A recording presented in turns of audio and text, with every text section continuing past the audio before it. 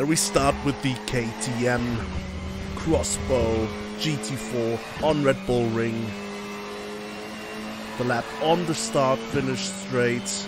We go up the hill into Niki Lauda, braking shortly after 100 meters, being careful not to take any sausages, not neither on the inside or on the outside.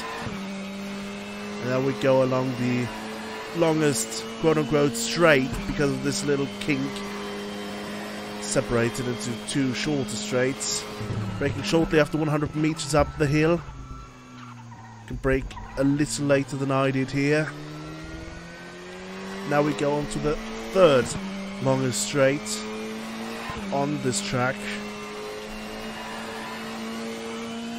Now it leads downhill, so we need to brake a little earlier. Exactly at around 100 is perfect with the KTM X-Bow GT4.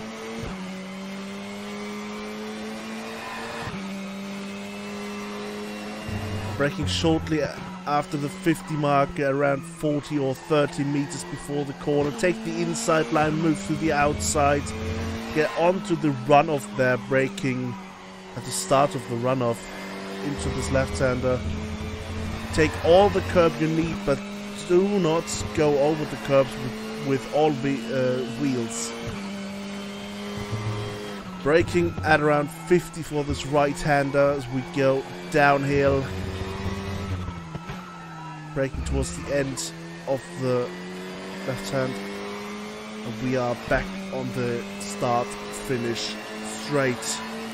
And across the line we go.